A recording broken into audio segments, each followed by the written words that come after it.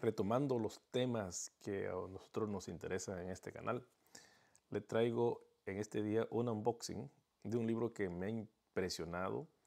Está en su segunda edición y está escrito originalmente en español. Y es este libro, El método midrásico y la exégesis del Nuevo Testamento por Agustín del Agua Pérez, de editorial Verbo Divino.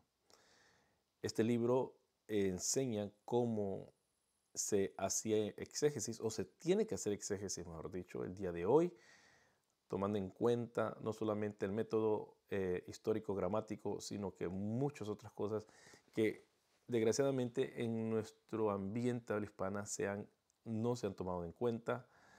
Eh, el método histórico gramático no es el único método que se tiene que usar y tampoco es el método por excelencia. Es es una de las herramientas que tenemos nosotros para poder entender las escrituras.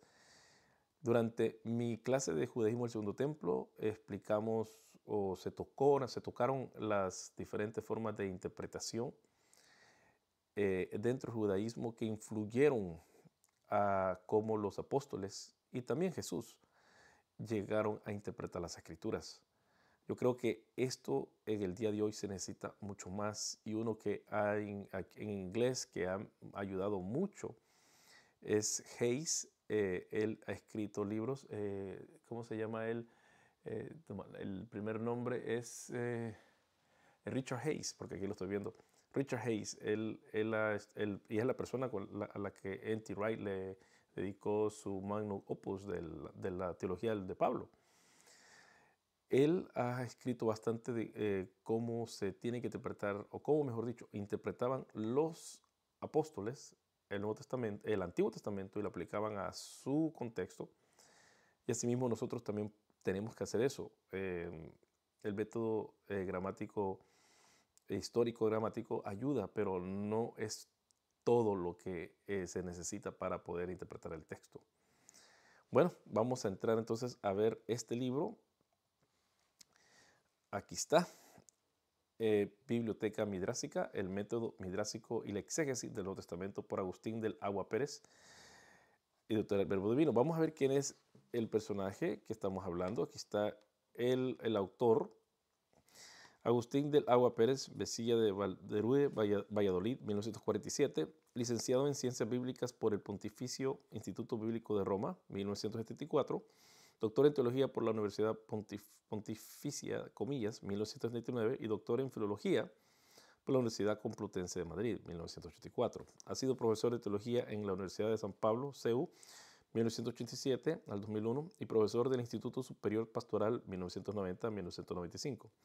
Además fue capellán universitario del Colegio Mayor Pío XII y la Fundación Pablo VI de Madrid, 1983-2014. Desde el año 1994 fue director del Departamento de Pastoral Universitaria de la Conferencia Episcopal Española y desde su creación en el 2001, director del, del Secretariado de la Subcomisión Episcopal de Universidades. De 2010 a 2016 fue director del, secretario, del Secretariado de la Comisión Episcopal por la Doctrina de la Fe. Como exégeta, como exégeta se ha especializado en el DERAS del Nuevo Testamento, campo en que ha publicado numerosos trabajos. Y esto es bien importante, el DERAS. ¿Qué es el DERAS? Yo no lo puedo decir hasta el final del video, así que si ustedes quieren ver qué es el DERAS, tienen que, ah, que ver más o menos ya al final y no, no necesariamente al final, porque saben que siempre estoy hablando otras cosas, pero el DERAS es algo que a mí se me ha enseñado y no se me enseñó con, con, con esa, con esa palabra, pero sí es importantísimo ver eh, cuáles son las intenciones del texto. No solamente saber la historia detrás del texto, la gramática del, texto, sino también tenemos que indagar sobre la intención. Y esto a muchos les, da, les causa problemas porque entonces estamos psicoanalizando a, a los, a los autores y es cierto, es, es algo muy peligroso de hacer, pero vamos a ver cómo lo hicieron una y otra vez eh, los autores del Nuevo Testamento que también era una, era una práctica que hacían otros judíos de su tiempo. Ok, vamos a ver, vamos a ver primero el libro. El libro, voy a, esta es la segunda edición, la primera edición. La primera edición fue en 1985. Esta es la segunda edición eh, de 2019. Em, después voy a leer una, un, pequeño cosa de que, que se habla de la, bueno, que, que, se habla acerca de la primera edición. Y para eso voy a abrir eh, esto para que después lo, lo pueda leer. Em, ok, vamos a... Entonces, este es el índice general. Podemos ver aquí. Em, eh, el libro está, eh, por, está dividido en dos partes. Y, esto es de mucha importancia para nosotros si queremos entender lo que el libro está tocando. Bueno, entonces, índice en general. ¿Cuántas páginas tiene este libro? vamos a hacerlo. Tiene, tiene 300, 324 páginas, así que es bastante. Es bastante, ¿cómo se llama? Eh, y vamos a leer lo que dice aquí también atrás. El presente trabajo tiene como objetivos básicos, por una parte, hacer una obra que, haciéndose eco de lo hecho hasta ahora en el área del DERAS en el Nuevo Testamento, contribuya a llenar un hueco existente en la bibliografía científica actual y, por otra, ofrecer una investigación original consistente de la aportación de nuevos datos comparativos entre material derásico de diversas fuentes judías y los escritos del judeocristianismo. Y quizás, y quizá lo que lo que pueda ser más de interés, una sistematización de la hermenéutica y el método de, y el método de sus principios, procedimientos, reglas de interpretación y modelos de aplicación en los escritos del Nuevo Testamento. Al propio tiempo, este libro supone una aportación al diálogo interdisciplinar entre los estudios semíticos, helenísticos, con particular incidencia en las fuentes y tradiciones judías subyacentes al cristianismo primitivo. Por su carácter de síntesis e investigación original, mismo tiempo, al, mismo tiempo, este libro puede servir también como obra de introducción a quienes desean adentrarse en este campo de estudio. Sí, y eso, y, eso lo que es, es una introducción, pero una introducción eh, bastante, bastante sólida. Bueno, de nuevo, primera parte, la exégesis derásica en el judaísmo antiguo. Eh, solo voy a leer la, eh, la introducción. Concepto de exégesis derásica en el judaísmo antiguo, objetivo de la exégesis derásica, Exégesis derásica eh, justificativa. Dos, principios em, y reglas de la exégesis derásica. La unidad de la escritura, a mí me interesa mucho eso, lo que dice la unidad de la escritura, la unidad entre las diversas partes de la escritura, eh, que es muy, eh, es muy em, disimilar a lo que muchos dicen ahora, muchos liberales o muchos que, que se creen que están al día, que, que cada quien habla lo que quería. Escritura explicada por la escritura.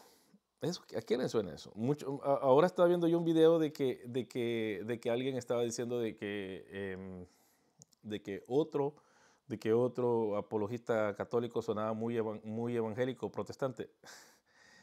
Yo creo que eso es ignorar cómo los católicos estudian las escrituras y cómo ellos también tenemos algo mucho en común, tenemos más en común de lo que nos separa. La Biblia tiene la Biblia tiene pluralidad de sentidos. Pero bueno, escritura explicada por la escritura. Esto supuestamente es un principio eh, protestante, dicen muchos protestantes. No, eh, el protestante no entiende, muchos protestantes no entendemos o no, estudiamos de qué se, eh, todos estos puntos. Así que em, a, veces, a, veces personas que, que se venden como, como personas estudiadas, Sí, quizás son expertas en algo, pero no son expertas en otra cosa y, y, se atreven a decir, a, decir cosas y, y, lo que no me gusta es la, es la posición que toman, eh, las actitudes que toman que de prepotencia a veces, desgraciadamente, y no solamente los protestantes tenemos eso, sino que también los católicos. Segunda parte, que es la, es la parte principal de este libro, es exégesis derásica en el Nuevo Testamento, que es lo que nos interesa. Introducción, concepto y categorías de exégesis derásica en el Nuevo Testamento. Recurso derásico al Antiguo Testamento según el modelo promesa, cumplimiento o prefiguración, realización. Y esto vamos a leer, vamos a leer unos cuantos ejemplos. Voy a leer yo un ejemplo en específicamente de que también dentro de los, dentro de los eh, debates del catolicismo y el protestantismo toma lugar. Deras en torno a la pasión, muerte y resurrección de Cristo. El deras cristológico. Jesús, Hijo del Hombre, recurso derásico a la tradición apocalíptica del Hijo del Hombre para expresarse al cumplimiento mesiánico. Y esto es bien importante para mí porque ah, yo he estudiado bastante acerca del Hijo del Hombre. Un ejemplo, eh, un ejemplo de síntesis original de la tradición del Antiguo Testamento. En la deras cristológico del Nuevo Testamento, relato del bautismo de Jesús. Y ahí podemos ver Salmo 110 y primera 11 eh, eh, Qumran Melk. Ahí podemos ver que ya también está usando el, el, orden de Melquisedec. Em, está usando cómo se llama la literatura del segundo templo. Neofiti, libro de los secretos de Enoch, segundo Enoch, Enoch es eslavo. Em, recursos drásticos del Antiguo Testamento según el modelo de inserción-sustitución. Y aquí es donde entra eh, lo que muchas personas no les gusta acerca de, eh, del, pueblo de, Israel. Bueno, recursos drásticos del Antiguo Testamento según el modelo de oposición-contraposición. Deras sobre hechos de Jesús. El papel y, finalmente el anexo, el papel de la escuela mirásica en la configuración del Nuevo Testamento. Eh, a mí me gusta, eh, entonces voy a leer unas cuantas cosas. Voy a leer unas cosas que, eh, que, que yo quiero que ustedes tomen. Bueno, pero antes de eso voy a, enseñarles algo que siempre les enseño, que este libro tiene una bibliografía. Yo, muchos de los libros de español, de, CLIE o, o, de, mm, o de Kerigma tienen bibliografía. Y y esta bibliografía es en español, bastante en español, tiene alguna en francés, eh, eh, tiene bastante en inglés, tiene algunas en, alemán. Entonces el alemán, el francés, el español y el inglés son, los, son los idiomas que vemos aquí representados pero es una, de, dado que está como se llama, y aquí podemos ver a F. Bruce, eh, como podemos ver, cómo se llaman los católicos, eh, no se hace problema de, mucho. bueno, ah, vamos, le voy a hacer esto después. Eh, tiene bastantes aquí que ver. Chilton, veo algunos. Dal, también es protestante. Davis, eh, w, w, Davis, yo, le, yo, yo, lo, yo lo he, ¿cómo se llama? He mencionado una y otra vez, Torah en the Messianic. Davis es el, el, suero del ahora fallecido también ya E.P. Sanders, Christian Origins, The Ascending of the Sermon, el Sermón de la Montaña también, Paul en Rabbinic Judaism, este es Pablo y el judaísmo rabínico, y después vino su yerno, E.P. Sanders, que y escribió eh, eh, Pablo y el judaísmo eh, eh, palestino, que es casi lo mismo, pero, pero, pero él indagó mucho, mucho más.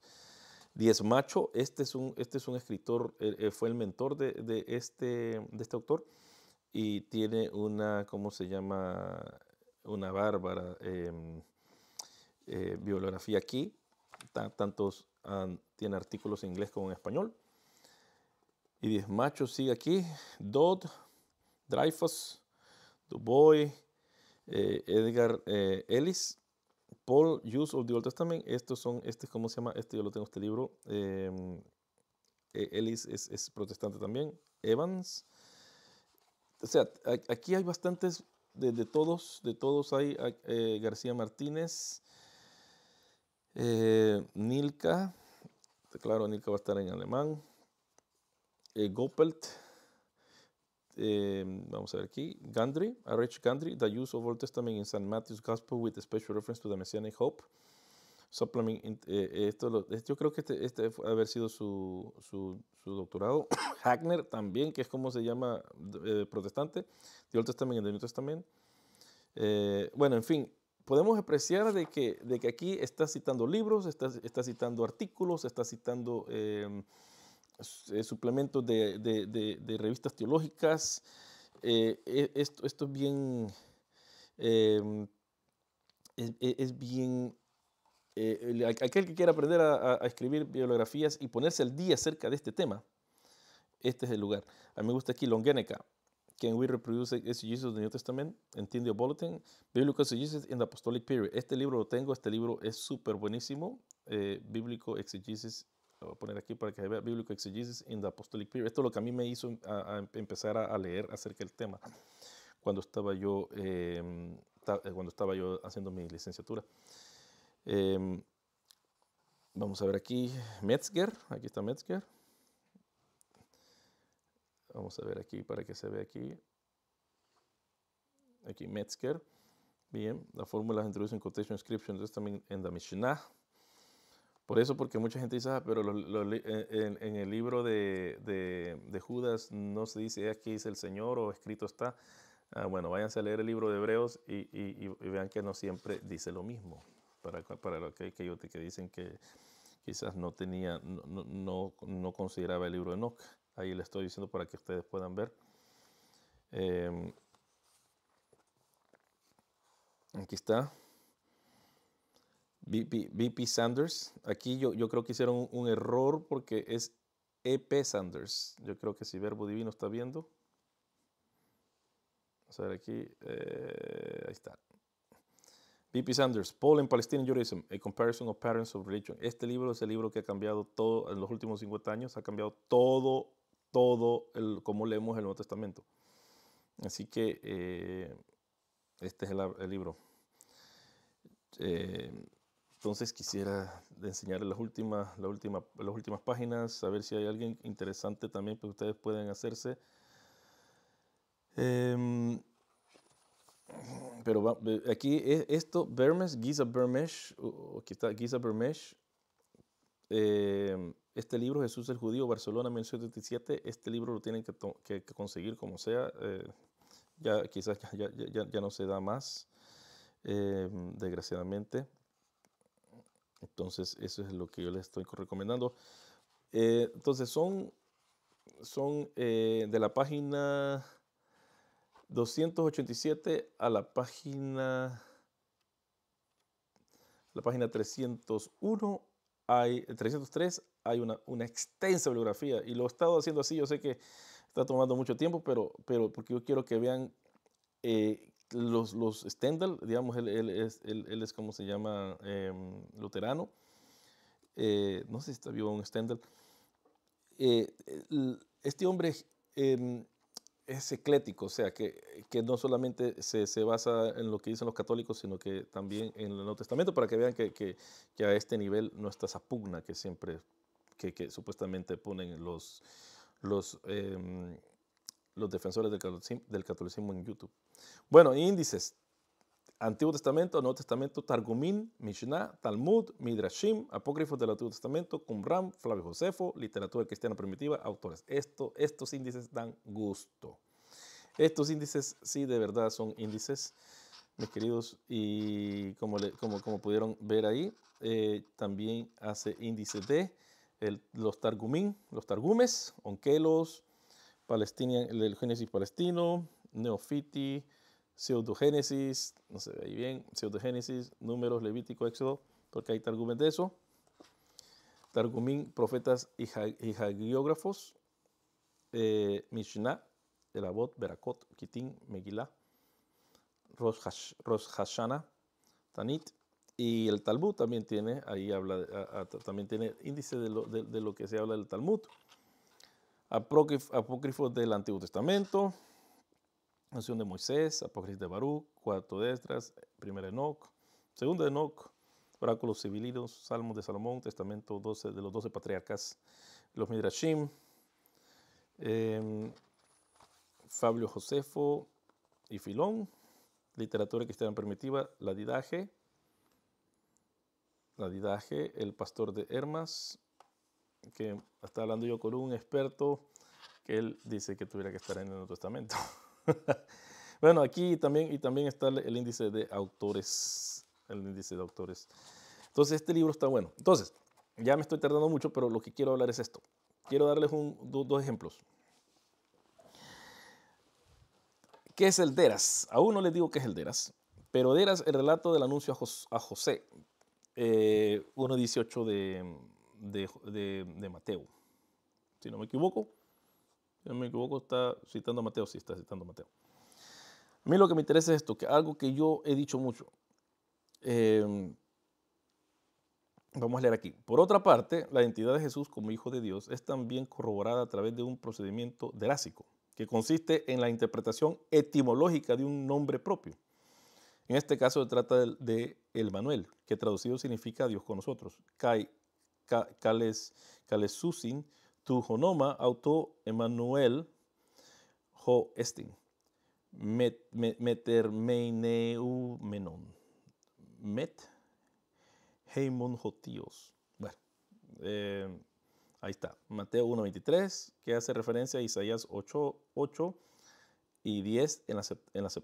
El sentido drástico reside en que Emanuel ya no es el nombre que ha de recibir el Hijo de, de la alma, sino expresión de la condición única de Hijo de Dios en sentido fuerte y exclusivo que Jesús, que en razón de su encarnación es el Hijo de Dios con nosotros. Mateo pues trata el texto que cita como una profecía tipo Pesher, de la concepción de Jesús por medio del Espíritu Santo en las entrañas de María la Virgen. Entonces, si usted quiere saber todo esto, vaya, vaya a ver mi video del judío el segundo templo, ahí lo explico todo yo. En resumen, y poniendo de relieve el aspecto derásico de la pericopa, Mateo destaca la confirmación de la concepción virginal de Jesús por medio de la cita bíblica de Isaías 7:14, Septuaginta. Así los, así los Septuagintas tradujeron el hebreo Ha'alma, doncella, del texto más erótico, masorético, como virgen, hey, pártenos. De este modo, el texto de Isaías le sirve a Mateo de comentario profético a la concepción de Jesús, porque la escritura confirma la concepción original de María por obra del Espíritu Santo, no la fuente del mismo. El hecho, pues, de la virginidad de María es corroborado por Deras, como el, como el preanuncio profético contenido en la escritura acerca del modo de cómo había de ser el nacimiento del Mesías, por obra del Espíritu Santo, en el seno de María Virgen. Con ello, Mateo ha ratificado por medio de Isaías 7:14 el quien de Jesús, Mesías, hijo de Dios e hijo de David, y él como Emanuel, Dios con nosotros, en cuanto engendrado por obra del Espíritu Santo en el seno de María, Virgen, hay y, sin haberlo conocido dio a luz un hijo al que puso por nombre Jesús. No lo voy a leer en griego.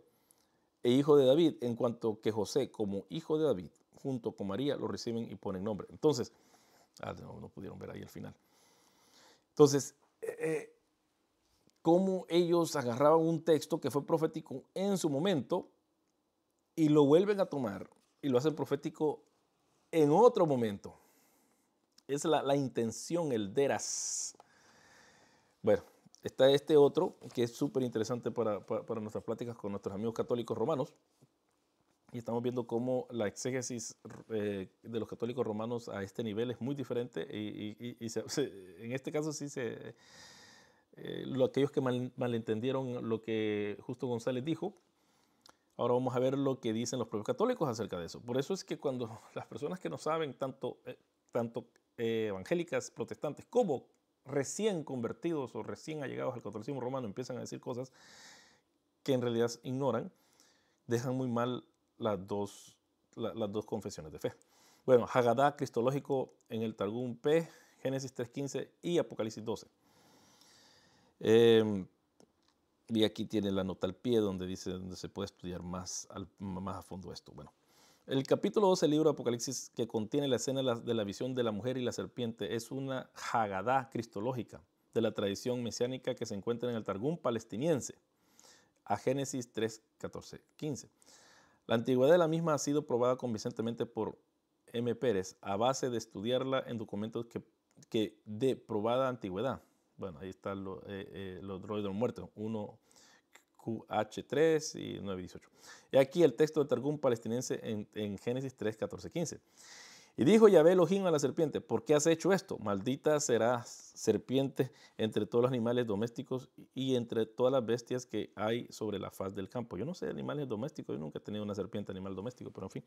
Sobre tu vientre te arrastrarás y el polvo será tu alimento todos los días de tu vida y enemistad pondré entre ti y la mujer, y entre tú y tus hijos y los hijos de ella. Y cuando los hijos de ella guarden la ley y pongan por obra los mandamientos, apuntarán, a ti y te y quebrantarán la cabeza y te matarán.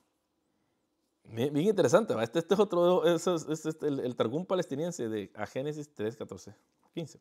Recuerda que los Targumes son en la Biblia, pero comentada prácticamente.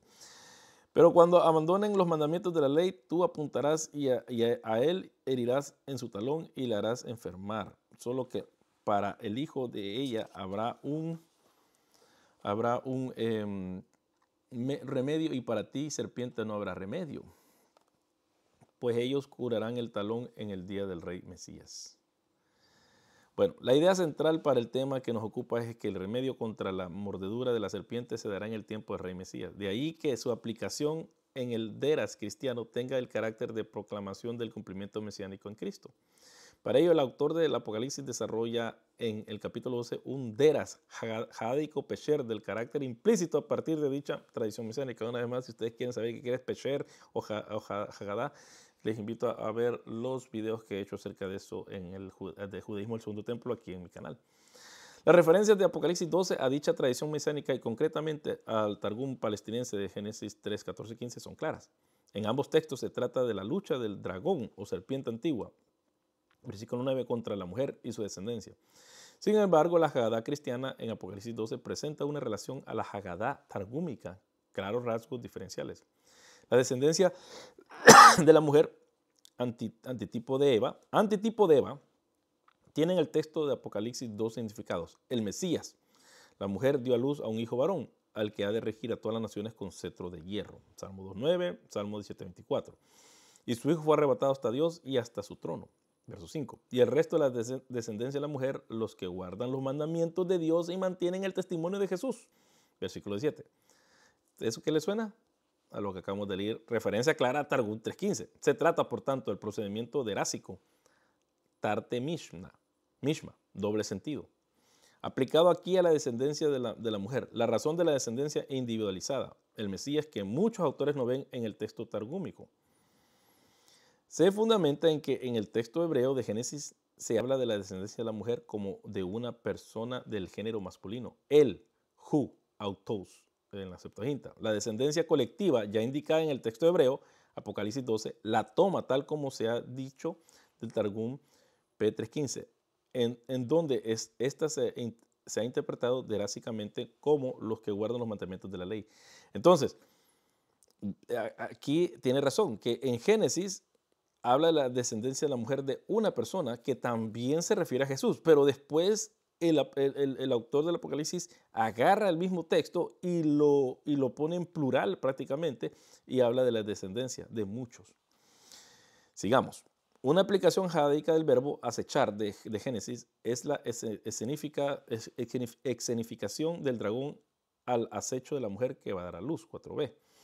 La interpretación derásica de la mujer de Génesis se efectúa, al parecer, también por medio del procedimiento derásico de doble sentido. El doble sentido es tarte mishma.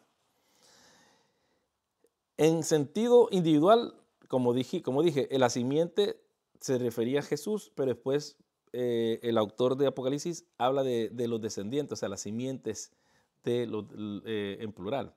Igualmente aquí, en sentido individual, la mujer sería María, la madre del Mesías. En sentido colectivo, la mujer representaría por alegoría a la iglesia, no Israel o Israel de Dios, simbolizado en la diadema de las dos estrellas, porque ¿cuáles dos estrellas igual a, dos estribos, que a, semejanza del viejo Israel, perseguido por el dragón, ha de huir al desierto donde Dios la alimenta, versículo 14. En consecuencia, María sería la nueva Eva, que vencedora de la serpiente, da a luz al Mesías y es al tiempo figura de la iglesia, Nuevo Israel, que padece la persecución de sus, en sus miembros, los que guardan los mandamientos y dan testimonio de Jesús. 8. Entonces, es bien interesante esto. Eh, eh, y una vez más, vuelvo a repetir, muchos al decir, uh, tal persona está, eh, está, como se llama, interpretando como, como protestante. Momento, esto es lo que se habla en la academia. Y, es, y eso es lo tremendo, cuando la gente dice, yo soy teólogo, pero si no sabes estas cosas, eh, da mucho que desear. Bueno, voy a, darle, voy a dar entonces lo que del agua habla acerca de lo que es eh, la interpretación derásica. De ahí que intentando describir el concepto de deras, visto desde la óptica conjunta del Antiguo y Nuevo Testamento, lo definamos como los principios de interpretación, aplicación y recurso a la tradición y textos bíblicos tanto por parte del judaísmo como, el, como del primitivo cristianismo, para actualizarlos a la luz de, las nuevas circunstancias históricas. El ejemplo que les, que les dije con respecto a, que, bueno, que, que, dio el autor con respecto a esto fue cuando fue el, el, en Isaías con respecto a Emanuel, que fue una profecía específica, un tiempo específico.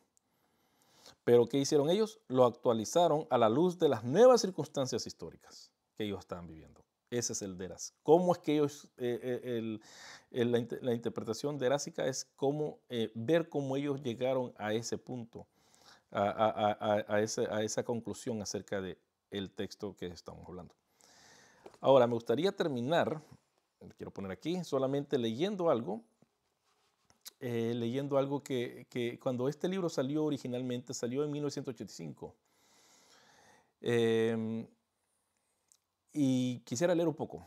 Hace 10 años, en un artículo que ha llegado ya a ser un, el ser clásico y programático y que lleva por título Derasi Exégesis del Nuevo Testamento, publicado en Sefarad 35, 1975, de la página 37 al 89, el llorado profesor Alejandro Díaz Macho planteaba la necesidad, y llorado porque acuérdense que se murió ya para este tiempo, la necesidad de conocer a fondo el Deras, la hermenéutica judía antigua, sus, sus, presupuestos y sus extraños procedimientos para hacer exégesis científica de los dos testamentos.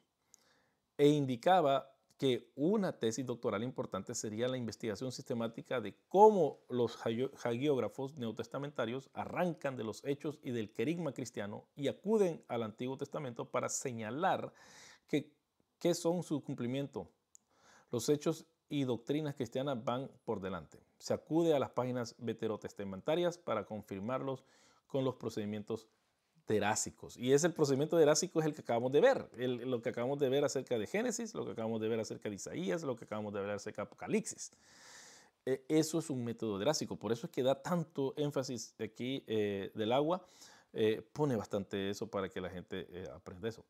Bueno, pocos años después el joven y doctor escriturista A. del Agua emprendía bajo la constante y generosa orientación y ayuda del profesor Díaz Macho, precisamente la, investigación sistemática del amplio horizonte del DERAS neotestamentario. Unos nueve artículos publicados por A. del Agua desde 1979 han, sido, han, han ido preparando y cimentado el libro que ahora reseñamos. reseñamos. Este viene a ser una obra de síntesis de los resultados conseguidos en el área indicada y también una recapitulación de sus investigaciones personales una última, una última finalidad podemos decir que cumple el presente libro, la de servir de introducción para quienes comienzan a adentrarse en los procedimientos exegéticos del DERAS.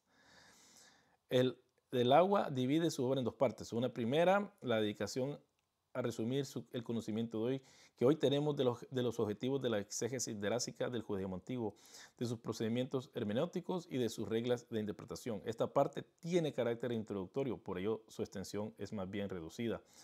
Las páginas son de la 31 a la 79, que, es un poco diferente en, esta versión. Y, sin, y, síntesis expositiva. La segunda parte es la sustancial, la más original y novedosa del libro pues acomete una penetración en el concepto y se sigue a lo largo de unos cuatro capítulos con el análisis, con el análisis de muy numerosos pasajes neotestamentarios. Termina el libro con un anexo, el papel de la escuela midrásica en la configuración del Nuevo Testamento. El agua ha sabido desarrollar, ampliar y sistematizar las ideas y estudios de, que a Diez Machos incoaba en su citado artículo de 1975. Así, A del agua distribuye su estudio de la exégesis derásica neotestamentaria en cuatro grandes capítulos y que ya lo, hemos visto.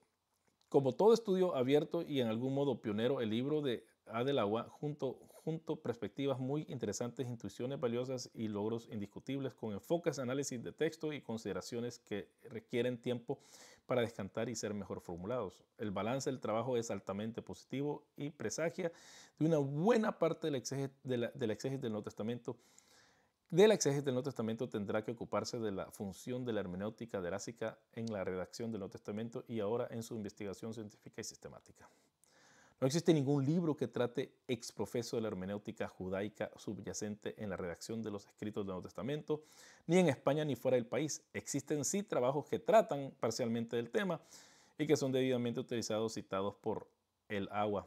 Esta circunstancia hace especialmente importante la presente publicación y por eso es que yo les digo y le vuelvo a repetir acerca de esto. Por eso es importante ver la bibliografía de este libro, porque en este libro, como, como dice aquí, que en España ellos fueron los pioneros prácticamente en hacer eso. Y de ahí vino em, eh, Hayes, eh, Hayes aquí está Levine, Evelyn Levine, Some Characteristics. Eh, Linders también es como se llama, eh, también es, em, dicho sea de paso, también es como se llama eh, ah, protestante. Hayes, Hayes el, a mí me, llama la atención de que, no, lo, que, no, lo, que no lo cita aquí em, del agua. No lo cita, esto es lo que quería ver, no, no, no lo cita Hayes, porque este Hayes no es Hayes. Eh, da, la, da, la, casualidad de que no, que no lo cita. Pero ya, eh, pero cita otros que ya, que ya tiene, eh, unos que, no, que, que, dije que, quería leer y no lo, no lo leí. Vamos a ver aquí. No, no me acuerdo. No me acuerdo, no me acuerdo aquí cuál es el que, que quería leer uno de estos que estaban aquí. Schmidt, Schweppes, Schruga. bueno, hablé de Longeneca, hablé de Metzger, eh, Manson también, pero estos, son antiguos ya. Eh, pero eh, Levine, un judío del Nuevo Testamento, esto, está citando algunos antiguos de Levine, em, pero, pero vi uno, que, uno que habla decir, acerca de, de que, que, habla acerca, que tiene un capítulo en el libro de Eldon Ladd, no me recuerdo su nombre, donde lo vi aquí y dije, voy, lo, lo voy a mencionar. Eh, lo importante es esto de que, este, eh, que aquí lo pone a uno al día de nuevo y, y eso es lo que nosotros tenemos que, que, que, que, tomar en cuenta. Otra cosa, aquí está Hackner. Hackner. Está Gandry, que lo hablé de él, porque el, su, su, ¿cómo se llama? Su, eh, el, el, comentario a Mateo de Gandry es, uno de los mejores. Hackner, del Old Testament y del New Testament. El Antiguo Testamento con el Nuevo Testamento del 76 y Hackler, esto ya está antiguo también. Ahora, en la introducción, la introducción de este libro a mí me gusta mucho porque en el primer capítulo, introducción, el método misógico en la exégesis actual del Nuevo Testamento, empieza con De Vilius, Bullman, Schmidt eh, y empieza a dar una historia acerca de todo, acerca de cómo es que hemos venido a entender nosotros la, exégesis oh, este, este, este, este, capítulo es oro para, solamente este capítulo para, para, estar al día de cómo se llama, de, quién es quién. Uno de mis estudiantes me hizo un ensayo, pero hizo, y yo le dije, este no es un ensayo lo que pedí, esto, es este más que todo es, una, es un ensayo de la literatura disponible de lo que estás hablando, no, no, no necesariamente es un ensayo del tema. Pero bueno, pero igual lo pasé porque, porque, porque hizo eso. Em, así que en, estas pequeñas páginas ya nos da toda una historia de, ya el, lector va, a saber qué es lo que ha pasado en los últimos 200 años. Y como diría yo, nada es nuevo, nada es nuevo bajo el sol. Entonces, yo, sin ninguna reserva, eh, recomiendo este libro. Eh, estoy, ¿cómo se llama? Em, eh, quiero leer José María Casiaro es el que hizo esta reseña.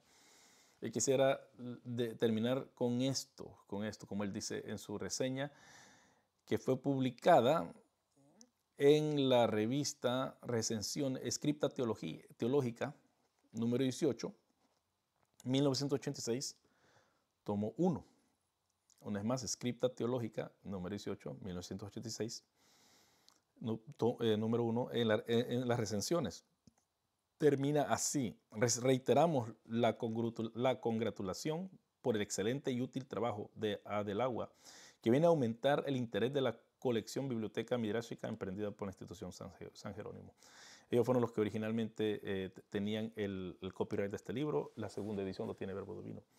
Yo también, em, como esto es lo que a mí me gusta, la hermenéutica, la exégesis, eh, yo recomiendo este libro aquel que quiera estudiar más avanzado, ponerse al día también cómo está eh, la, interpretación bíblica. Y este es el libro para comprar, este es el libro de hacerse. Y yo creo que mm, esta es una buena, buena inversión. Cómprenlo para que así eh, eh, Verbo Divino y sepa que hay interés del libro, no solamente lo bajen en, PDF, por favor. Em, cómprenlo y así se sabe que eh, ellos van a saber si hay interés en, esta literatura. Si te ha gustado este, este, video, me puede dejar un like, vamos a ver aquí, aquí, aquí es diferente, aquí es diferente, ¿cómo se llama? Voy a poner de vuelta la, la cámara. Lo único que no me gusta cuando pongo de vuelta la cámara, ya se, se, se ve, no va a salir mi boca, eh, se, queda un poco mal. Yo creo que esto es un problema de mi computadora que está un poco vieja. Pero si a usted le ha gustado esto, póngame un like, suscríbase a este canal, eh, comparte este video para que vean las, cómo estudiar este libro, lo interesante que es este libro. Si usted desea, se puede hacer también eh, miembro de este canal con 5, 10 o 15 dólares al mes y o puede ayudarme por medio de Patreon o PayPal para poder comprar estos libros, porque estos libros no son nada baratos. este libro es una, una inversión prácticamente. Que Dios les bendiga y hasta la próxima.